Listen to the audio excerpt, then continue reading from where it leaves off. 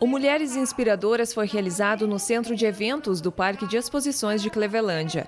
Um evento referente ao Dia da Mulher, comemorado no dia 8 de março, para lembrar da importância da mulher, as conquistas e também os desafios diários.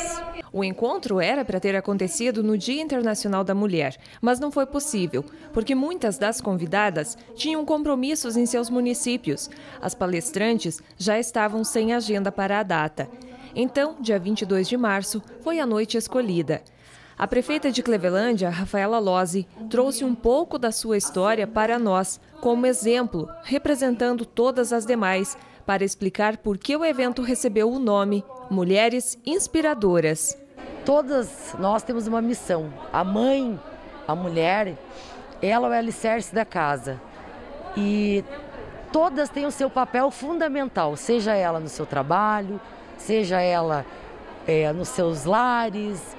E como a minha mãe fala, que é só através de uma grande mulher que inspira outra mulher. Rafaela foi além. As mulheres precisam se apoiar e lutar pelos ideais. O sucesso é esse, né?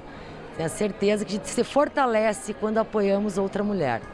Seja ela mãe, avó, é, a irmã, eu tenho grandes exemplos dentro de casa. A secretária de Assistência Social de Clevelândia, Ivete Inocêncio, apresentou o contexto histórico sobre a data que se comemora o Dia Internacional da Mulher e explicou que a data celebra as muitas conquistas ao longo dos anos. Eu sempre digo que a gente é um, um, eterno aprendente, né? A gente está todos os dias se alfabetizando e aprendendo coisas novas. E as mulheres têm que colocar essa linha na vida delas. Eu tenho que aprender, eu tenho que desenvolver, eu tenho que crescer. Foi uma noite especial, com flores e vários presentes, doados por empresários e lembranças confeccionadas pela equipe do CRAS. Também teve apresentações culturais.